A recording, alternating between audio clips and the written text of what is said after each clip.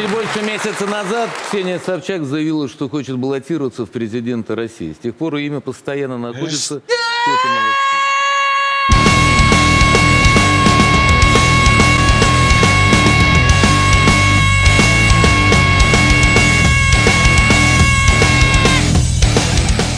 Здравствуйте.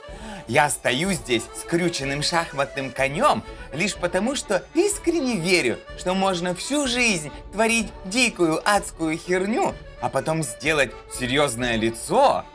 И в России найдется тот процент имбецилов, которые все равно за меня проголосуют. Нет, ребята, нет слов. Ну нет слов. Что у вас там в России происходит? Куда смотрит Владимир Владимирович? Александр Григорьевич, успокойтесь. Ксюша, наверное, просто пошутила. Сегодня 1 апреля ведь, да? Так ведь? Хотя нет. 25 ноября?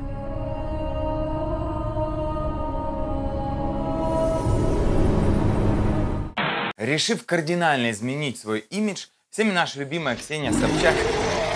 А, о чем это я? А, решила податься в президентство. До этого она а, какое-то время корчила себя серьезную журналистку. Ну, все равно как-то получалось, знаете, ребята, как будто говоришь вот с тем сраным психологом, как, с которыми я имел неудовольствие разговаривать несколько раз в жизни. Все они были девочками и учились на факультете психологии. В частности, это было три моих знакомых девушки, которые там учились, с которыми у меня происходили разговоры на те или иные темы. И все они, знаете, были очень-очень похожи на Ксению Собчак в годы ее журналистики, когда она отошла от образа распутной девки и прекратила светить голой задницей в экран, ну и все, что она вот делала всю свою сознательную жизнь. Вот они очень были похожи вот на тех девочек, когда садишься, пытаешься вести какой-то диалог, ну как она берет интервью, так же я садился с этими девочками и пытался до них достучаться, что-то объяснить, но разговор они строить не умеют, ибо очень и очень глупые. Несмотря на то, что очень много информации у них в голове, но не нужно путать, как я уже не раз говорил везде и в интервью, и в письменных каких-то своих посланиях на своей официальной странице или в группах у себя где-то. Умный человек и просто много всего знающий – это разные вещи. То есть второе – это заучка, а первое – это мыслитель. Человек, умеющий строить логические связи, умеющий видеть суть вопроса, ну, просто не заниматься не болтовней, не перебирание энциклопедических данных, которые у него в голове, а вот именно говорить по существу. Она спросить. меня два раза интервьюировала, поэтому я имею представление о о этой девушке. Э, На мой взгляд, она глупая, совсем дура набитая. И вот э, с теми девочками, с которыми научились на факультете психологии, у меня были такие разговоры, и все они были одинаковые. В какой-то момент от них начинало просто тошнить. Они очень-очень много говорят, очень много говорят, но они даже не могут понять, казалось бы, ты им излагаешь логическую цепь какую-то, они на нее выдают тебе совершенно какую-то ахинею. Но что с точки зрения сущностных смыслов развития экономики России и политики России вы можете противопоставить Путину? Вот в чем ваше глобальное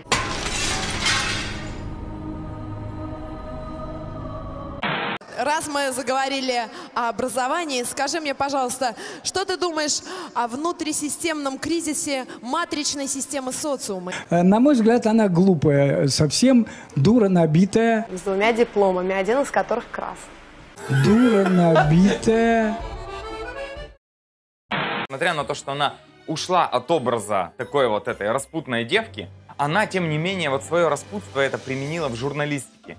То есть она любыми способами, любыми методами пытается сделать из интервьюируемого человека полного дурака. Она его провоцирует, неважно как. Ей не важно узнать мнение человека, ей не важно разобрать какой-то спорный вопрос, привести к какому-то логическому завершению. Нет, ей нужно сделать из него дурака. И вот эта вот противная сущность, которая в ней сидит, раньше она выливалась вот в это вот все вот э, пьяной девкой, а теперь она серьезным видом одевает очечки и начинает делать из себя умного журналиста, оппозиционера какого-то дичайшего. Теперь ее пьяно-развратные фильетоны никого не интересуют, и она решила хайпиться по-другому, вот так вот. серьезная журналистка. А теперь президент. Когда человек идет на выборы президента, и я знаю, и я никуда от этого не делаюсь, что называют детей мелкими педами, и говорю, что пусть они сдохнут, Это не имеет значения, Юр, потому что у меня есть маленький ребенок, Платон, которого я очень люблю, мой сын. Почему мы вообще должны это обсуждать? Да, я иногда ругаюсь матом, Воу-воу-воу, Ксюша, полегче. Хорошо, не хочешь про детей, не будем говорить про детей. Давай поговорим о чем-нибудь другом. Расскажи нам, пожалуйста, Ксения, не стыдно ли тебе за передачу «Дом-2»? Ты много лет разжижала людям мозг ей. Скажи что-нибудь по этому поводу. По поводу Дома-2. Ну, послушайте, это моя работа, 8 лет этому проекту. Нет, Ксюш, подожди, ну нельзя же сваливать все на работу. Волонтеры на войне тоже наемники какие-нибудь, им скажут убивать детей. Приказ такой был. Женщины и детей, они пойдут их убивать. Ну, нельзя же потом говорить, что это моя работа. Ответственность за свои действия нужно же какие-то нести. Если тебе дают руководить передачей, вести передачу, в которая действительно разжижает людям мозги и убивает просто новое поколение нации подрастающее, которые это смотрят, нельзя же говорить, что ты ни при чем. Человек не должен пачкать себя в том, что ему неприятно делать. Правильно?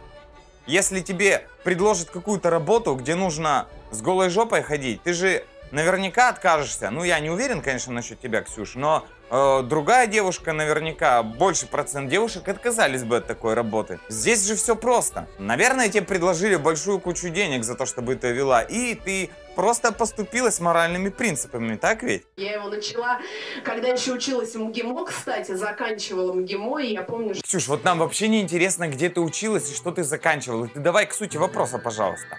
Я не стыжусь Дома-2, я могу сказать сразу. И э, вы можете разделять это мнение, не разделять, но Ну, конечно же, мы не разделяем, Ксюша, это мнение, поэтому те вопросы этот и задается, потому что стыд Абата это стопроцентное. это люди, может быть, они из чуть-чуть другой социальной прослойки. Может быть, эти люди, они не заканчивали МГИМО. А, так это люди такие там. То есть себя ты такой не считаешь. То есть тебе не стыдно за людей, которые там вытворяют дичь. Но сама ты не такая, да? Я правильно тебя понял, Ксюша? Но это тоже люди со своими проблемами, пусть иногда мелкими, смешными, надуманными. И Мелкие, смешные, надуманные проблемы? Да там рожу девушкам бьют. Там матерятся, там за волосы друг друга таскают. Там омерзительные сальные лапания и шуточки везде, сплошь и рядом. Омерзительная бытовуха, крики на девушек, унижение. Там всего очень много, это не милые шуточки какие-то. Ксюш, ты пойми, о чем? В чем претензия это к тебе? Мне интересно общаться с этим срезом общества, с которым, может быть, в своей реальной жизни я вряд ли где-то столкнусь. А, ну то есть вот выяснилось, этот срез общества к тебе не относится. Ты сама подтверждаешь, что ты как бы из другого слоя. Но опять же встает такая небольшая дилемма, Ксюш. Ну вот если ты из другого среза общества и ты воспитана не так, участвовать в этом бедламе, ну это же зашквар, Ксюша. Какие бы деньги за это не предлагали, это же зашквар.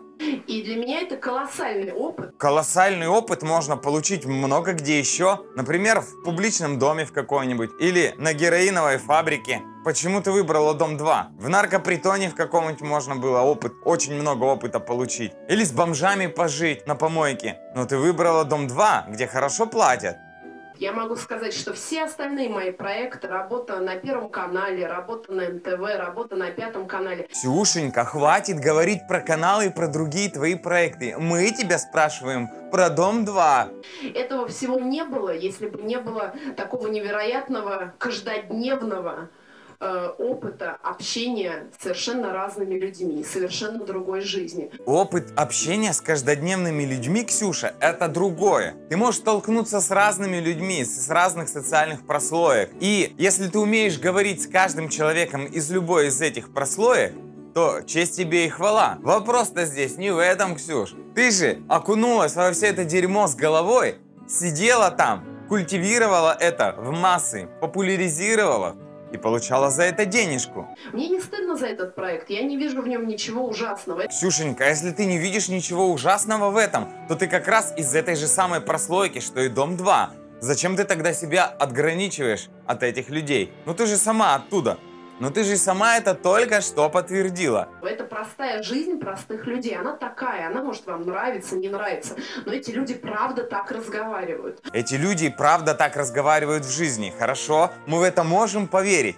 Претензия наша в том, что это показывают по телевизору. В мире много всякого дерьма существует, но не все это дерьмо показывается в телевизоре. Ты руководила проектом Дом-2, была его флагманом, вот этой бабой с голыми титьками на корабле, которую приделывали раньше мореходы. Вот на Доме-2, на этом кораблике, ты была вот этой устремленной вперед, вырезанной из дерева. Они правда целый день сидят на кровати и обсуждают, Вася, что там Маш, Маша, почему там Петя сегодня не к тебе пришел, а Коля? Маша, Коля, Оля, к Пете, Ксюша, вот ты одела очки, красиво оделась, красивую прическу сделала, да, пытаешься себя умным человеком каким-то показать, но ты не понимаешь, что тебе пытаются сказать. Ты либо понимаешь это и порожняк нам вот этот вот выдаешь, просто потому что тебе нужно как-то отбрехаться от обвинений. Либо ты действительно не понимаешь, тогда ты тупая, как пробка от бутылки. Конечно же, многим людям интересно, Маше интересно, что там у Оли с Петей, а Пете интересно, что там еще у кого-то с кем-то.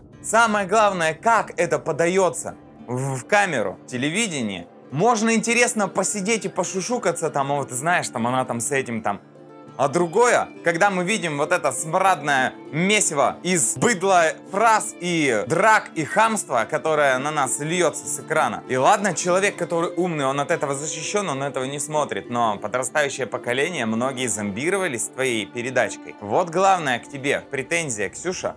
Это реальная жизнь, это то, что нас окружает. И в этом смысле я считаю, что показывая, это вообще главная моя стратегия моего телевизионного образа. Я как раз считаю, что показывая какие-то вещи, которые нам не нравятся, показывая какие-то негативные явления, ты добиваешься гораздо больше, чем показывая явления э, позитивного характера. Чушь, конечно, это умопомрачительное. Тогда уж сделай передачку, где крупным планом будет показываться, как человек срет или блюет. Уровень будет практически тот же самый. Это неприятно смотреть. Это лучше, чем показывать, как человек там ест мороженое или нежится в лучах восходящего солнца. Показывая дерьмо, Ксюша, ты говоришь, это больше пользы приносит. Вообще не так это работает. Это спорный вопрос. Вы можете со мной не согласиться. Это, знаете, как лирики и физики. Они никогда не согласятся. Ксюшенька, это не лирики и физики. Это вменяемые, адекватные люди и либо полностью безбашенные имбецилы, либо такие, как ты, лицемеры, которые прикрываются какими-то хорошими помыслами, чтобы показывать людям дерьмо и получать за это денежку.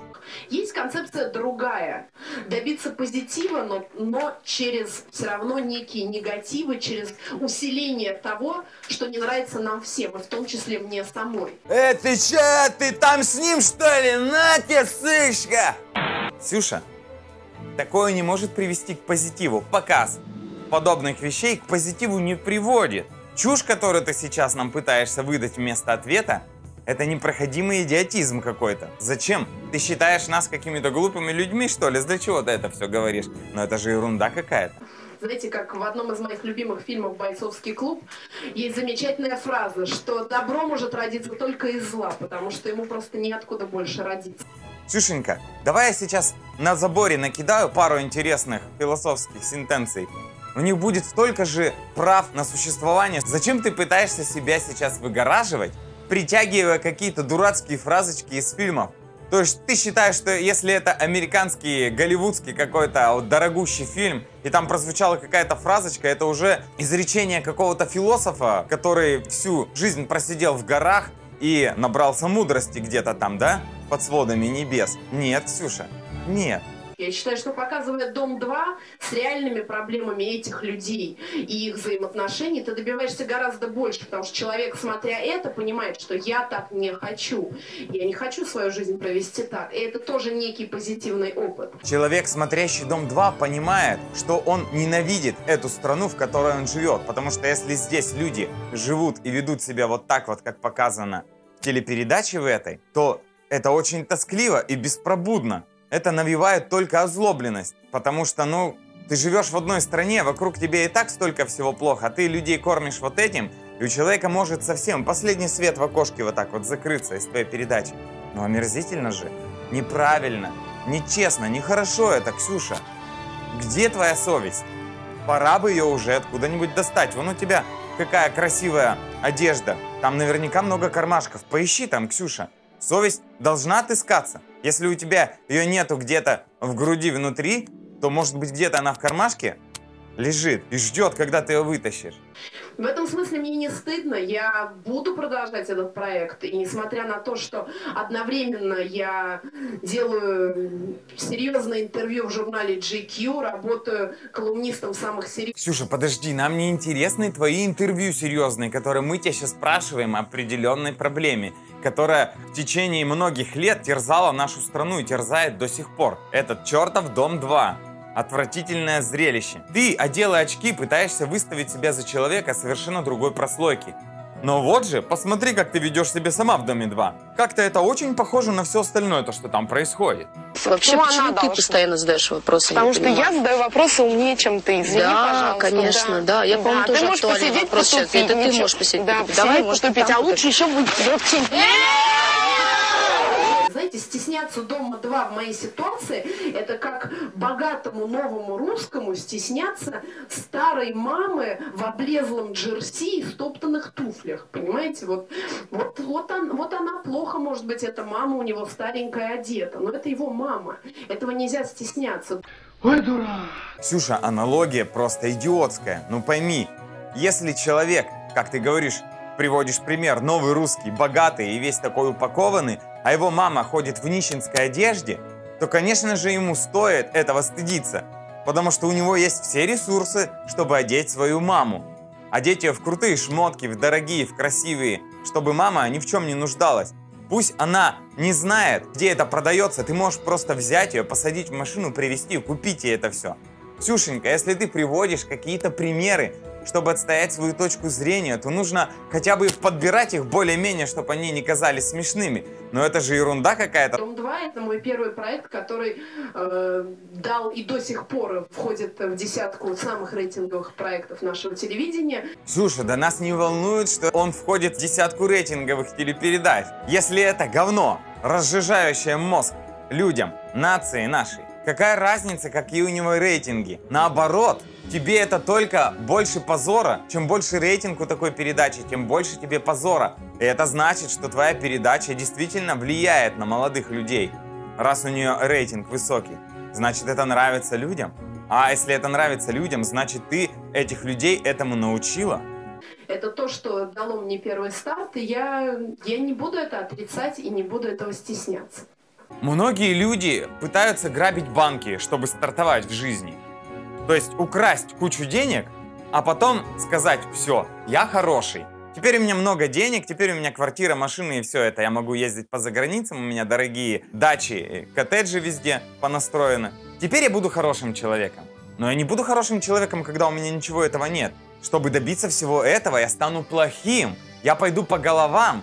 Я размажу кости любому и морально, и физически, но я доберусь до денег, что бы это ни потребовало. Ограблю ли я банк или буду ли я продавать наркотики, да, Ксюша? Я приду к своей цели, заполучу эту кучу денег, а потом стану хорошей. Потом мне будет не стыдно. Ну просто это же мой старт был. Ну как вы не понимаете, люди? Теперь я богатый, у меня все есть, и теперь я хорошая? Понимаете, даже в том же доме 2 а, ты можешь сделать вещи, направленные на созидание. На созидание? Это какие же? Когда ты помогаешь этим людям, пусть они глупее тебя в чем-то, пусть они хуже образованы, пусть они э, ёкают и говорят ихнее. Неважно, они люди, и люди, которые хотят быть счастливыми. И если ты поможешь в этой жизни хотя бы одному Ксюш, ну ты нам так и не сказала, как ты помогла хоть одному человеку на Доме 2. Петю с Олей помирила?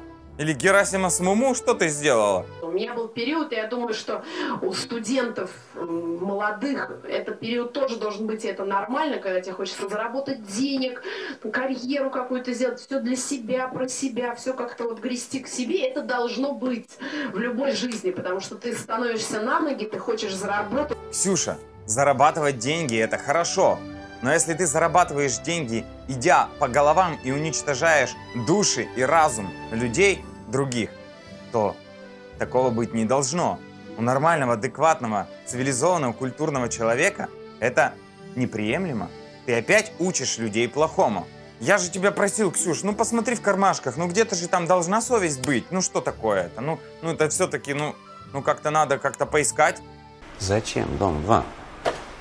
Послушайте. Бабки по- люблю, понятно. Их все любят, Александр. Что каждый вынужден каждое утро или каждый вечер шептать себе в утешение за эти заработанные Вы знаете, деньги? когда я просыпаюсь и смотрю в зеркало, мне на себя смотреть не стыдно, потому что я не делаю ничего ни на телевидении, ни в своей личной жизни, чтобы заставило меня стыдиться самой себя. Задом повернись, задом, задом.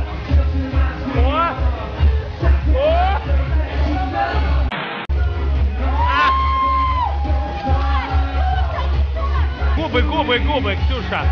О! Два пальца, два. Вот. Шампунь – лошадиная сила. Мы не ходим здесь, еще раз сказали, мы подводку записываем. Вы что, не слышите? Вы дебил, что ли? Мы не ходим здесь, обратно вернулись, мы записываем подводку, обратно вернулись. Заебаразы. Кому на РБК интересно вот этот весь позорище? Давай, давай, давай. Ну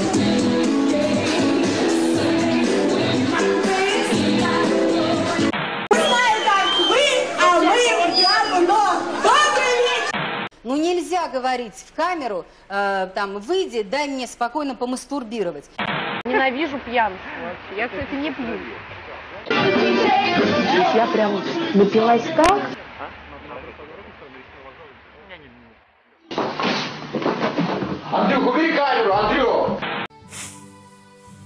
Нет, ну если за это не стыдно, то за что тогда может быть стыдно? Не знаю, может быть, бомжа облизать на камеру или прийти на вручение премии, вымазанной в говне? Ну такой, знаете, пик эпатажа. Ксюшенька, ну вот помимо других аспектов, которые и так как бы напрашиваются сами собой, напрашивается еще один. То есть ты пошла на выборы э, отобрать голоса у Навального. Потому что единственный нормальный оппозиционер это он. Ну, чтобы немножко размягчить этот э, туго стягивающийся кулак. Ксения, ты понимаешь главную претензию к себе? Твой путь абсолютно пораженческий. Если, Почему конечно, ты так считаешь? Вот скажи. Вот, потому что ты не выиграешь. И, во-первых, а а во-вторых, что, а потому Навальный бы выиграл эти выборы? у Навального это не выглядит, в отличие от тебя, договорным матчем. Почему ты вы действительно говорили не про понимаешь? договорной матч? Ты не понимаешь, я, почему это Еще похоже. раз говорю, я не буду, я не очень понимаю, Смотри, в чем как в том, бы идея что ты не разговора. думала об этом еще совсем недавно. Ксюшенька, ну нельзя же просто так взять, прикрыть срамные трусы, одеть очки и делать вид, что ничего до этого не было. Твое участие в выборах президента это все равно, что если бы в США Пэрис Хилтон бы начала бороться за этот пост.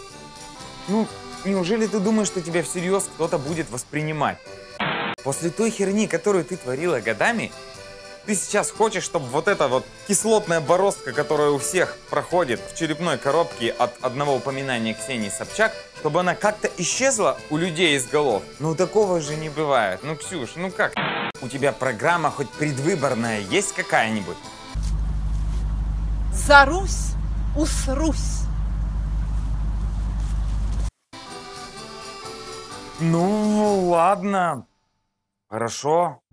Ксюшенька, как бы ты охарактеризовала себя, ну, в нескольких словах буквально? Я вот конкретная э, бацилла гнуси. Я бы так себя назвала, поэтому, в принципе, стоит мне куда-то вот внедриться, гнусь начинает распространяться. Бывают такие вот проститутки, которые уже все, клейма негде ставить, и они уже кайфуют от профессии. Кайфуют от профессии? А, Ксюшенька, ты точно уверена, что стоило это говорить? Я человек, который готов принять на себя вот все это говно, которое льется сейчас на мою голову со всех сторон. Выборы закончились. Ты не победила. Что ты делаешь дальше? Я не знаю, я... Ну, я полагаю, займешься тем, чем занималась до этого. Какие наркотики ты пробовала? Я много чего в жизни пробовала. Чего скрывать? Да, я пробовала наркотики. Ксения Собчак, наш президент.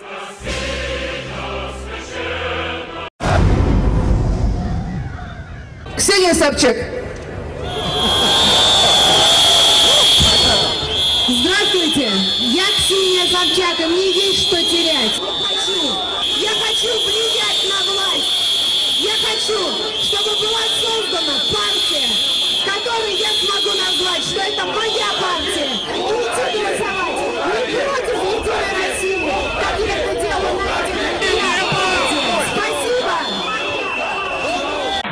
Ксюш, дорогая, ну ты же видишь, во что выливаются твои попытки прийти к обычным людям, к обычным гражданам с какими-то умными мыслями своими. Ты живешь в этом золотом мирке вечеринок и клубов, и всех вот этих вот мероприятий, которые показывают по федеральным каналам. Тебе платят, ты едешь на машинке от одного места до другого. У тебя своя жизнь, у тебя все получилось, ты достигла всего, чего хотела. Тебя показывают, ты богатая. Ну зачем было вылазить из этого теплого, уютного мирка, Ксюш? Ну, для чего тебе вот эти вот все вот э, нападки нужны? Вот, ну, выслушивать всю вот эту вот э, гадость, которую люди говорят, вот, неблагодарные. Ну, ну зачем это тебе все? Улыбайся, пляши, развлекайся. Ну, русский человек долго жил в таких условиях, когда обстоятельства, смена политической обстановки, смена власти, революции и все прочее приводило человека к нищенским условиям существования. Он привык терпеть невзгоды, тяготы и все прочие неприятные вещи, которые характерны для нашей страны. Теперешнее наше время не исключение. Каков предел будет этого терпения, неизвестно, но известно совершенно точно, что русский человек, он очень терпеливый. И многие люди могут терпеть многое. Но когда вот из человека пытаются сделать совсем уже дурака, конечно же, немножко у людей начинает протест острый выливаться вот в такие вот высказывания. Ведь человек, стремящийся к власти и попав в нее, совершенно не знаком обычному обывателю, обычному гражданину нашей страны. То есть он видит какое-то лицо и образ, который это лицо создает. И этот образ, этот политик несет от начала до конца, в большинстве своем. Но все-таки население нашей страны замордовано не настолько, чтобы этот диссонанс, который является собой Ксюша Собчак, принять и забыть. У человека, живущего в нашей стране, совершенно четко есть образ, который несет себе Ксюша. Вот этой вот достаточно вольной дамы, которая любит выпить где-то что-то, может быть, понюхать, покурить, заскандалиться словесно или телесно. И человеку власти. Это большой диссонанс. У человека даже меньший диссонанс вызовет совершенно неизвестный ему какой-то там вельможа, пусть даже с каким-то неприятным лицом и с неприятным голосом, но тем не менее он будет изображать из себя сурового, достойного какого-то там политика. И нашему человеку, живущему в нашей стране, это будет принять гораздо проще, чем Ксению Собчак. Опять же, вопрос наш, самый главный, Ксюши, зачем? Зачем все это? Либо ты действительно считаешь население страны полными дебилами, которым можно одеть очки, красивый пиджачок и офисную юбочку и сказать что-то а вы знаете, ребята, это было раньше, а теперь я другая. И человек это примет. Если это так, то к умственным способностям Ксении, конечно, есть большие вопросы. Если Ксюша сама это понимает и не верит в это, но все равно это делает, то опять же вопрос повторяется. Для чего? Ответ прост. Очередной хайп. Хорошо же, когда ты писатель, журналист, критик, э, очень много пальцев можно загибать, кем у нас является Ксюшенька. А еще и кандидат в президенты. Представляете, какое резюме сумасшедшее? Это же такое уважение вызовет, когда она поедет куда-нибудь за границу и там сможет об этом где-то рассказывать. Или, ну, вообще, просто любой человек, поехавший за границу. И когда про него узнают, что он в своей стране являлся кандидатом в президенты, это же какой вес, какое уважение. Но только сожалению, Ксюшенька, хочу тебя огорчить. В нашей стране ты вызовешь еще больше негатива в сторону своей персоны, поползновения в президентство. Ну и самое печальное во всей этой ситуации. Феномен Ксении Собчак породил такие образы, как Шурыгина и Сычева. Тех девочек, сидящих дома, которые неожиданно поняли, что ради славы и денег можно, в принципе, вести себя как угодно, говорить что угодно и делать что угодно. Главное, чтобы это привело к результату. И неважно, чьи судьбы от этого сломаются или какое будет впечатление от этого у других людей, это все отходит на второй план за вот этот сияющий олимп известности и богатства. Да, Ксения Собчак не была замечена в скандалах с изнасилованиями, но ее скандальное поведение, именно то, почему она стала известной и популярной, и навело остальных таких вот девочек на мысль, что успех ближе, чем они могли предполагать, и схватить его за горло можно и нужно, несмотря ни на какие последствия. Это было мнение. Но с вами был Сокол, истинный маг. Да пребудет с вами сила. Ксения Собчак, кандидат против всех.